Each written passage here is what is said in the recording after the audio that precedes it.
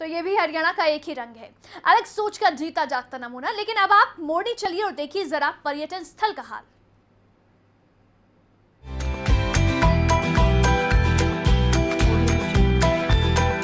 खबरें अभी तक की टीम सरकार की व्यवस्थाओं को परखने के लिए हरियाणा के सबसे बड़े हिल स्टेशन मोरनी की ओर गई।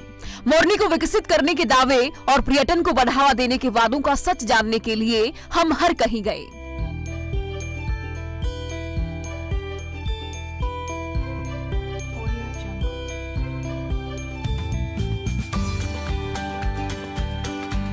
सबसे पहले हम मोरनी के ऐतिहासिक किले के अंदर गए। किले में बेमिसाल खूबसूरती का नज़ारा देखने को मिला। आने वाले पर्यटकों के चेहरों पर खुशी देखने को मिली। कारीगरी का बेहतरीन नज़ारा देखने को मिला।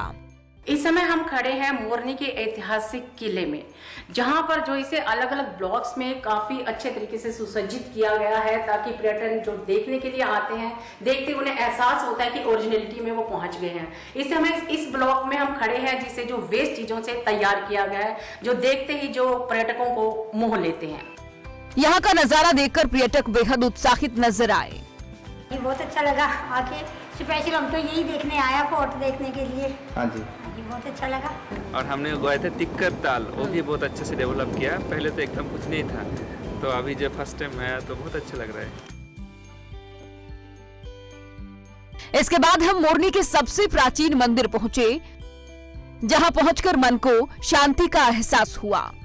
पिछले दो सरकारों के कार्यकाल में चाहे वो कांग्रेस है या भाजपा, मोरनी जो पर्यटक स्थल है हरियाणा का एकमात्र जो हिल स्टेशन है, उसका कितना विकास हुआ, इसका रियलिटी चेक करने के लिए आज जब हमारी खबरें अभी तक की टीम मोरनी इलाके में पहुँची, बहुत से लोगों से बात हुई तो लोग काफ़ी खुश नज़र आए, उनका कहना है कि काफ़ी अच्छा जो माहौल बना है, काफ़ी अच्छी देखने की चीज़ें बनी हैं।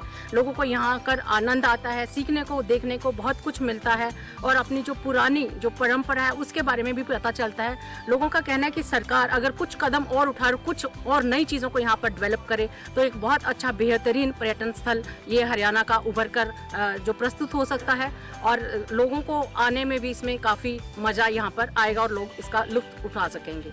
खबरें अभी तक के लिए मोरनी टिक्करताल से कपिल नागपाल के साथ, मैं शशि अरोड़ा।